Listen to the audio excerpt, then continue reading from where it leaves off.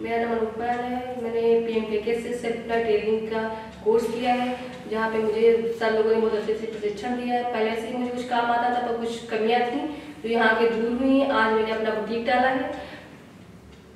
मेरा नाम अनुभा यादव है। मैंने भी प्रधानमंत्री कौशल केंद्र से सेल्फ एम्प्लॉय टेलर का कोर्स किया हुआ है। और हम दोनों बहनें हैं और हम साथ में अपना बुटीक चला रहे हैं। काम कर रहे हैं और मैं प्रधानमंत्री जी को और योगी जी को और और को धन्यवाद।